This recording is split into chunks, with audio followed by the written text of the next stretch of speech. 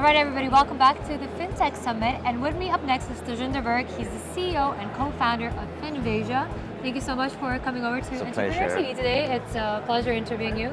It's a pleasure How, well. How's it been going so far? It's going amazing. I think uh, uh, this is an amazing uh, uh you know expo that uh, Dubai FinTech has uh, started doing from last year. we've been the lead sponsor last year and this year as well. I think it's an amazing place to see how Dubai is growing as the FinTech hub for this part of the world and also impacting a lot towards the western side of the world as of well. Course.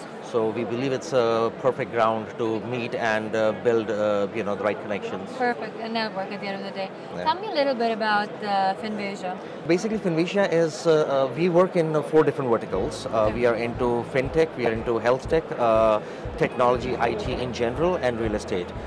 within FinTech, we are into, you know, mostly investment, spending, saving, and lending. We have our own investment bank in Mauritius. We have a digital bank that we are launching up in India.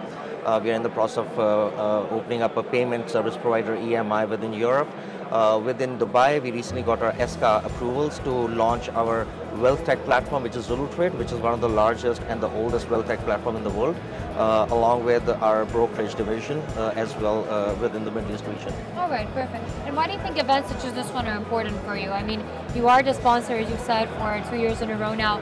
Why do you keep coming back? What's what's that hook? I think it's the type of people that are coming up over here. Uh, we uh, we see that uh, people take this event very seriously, and it's uh, you know the CEOs and founders of a lot of large uh, corporations coming up over here. So it's a good place to meet and network and you know kind of interact with those people that we don't get to do in regular right. Yeah. And see kind of where you stand at with all the other companies. Exactly. Yeah. Right. Well, thank you so much for this interview it's a pleasure. today. It's absolute pleasure speaking to you, and we hope to see you again in the future. Sounds great. Thank you so thank much. You. Cheers.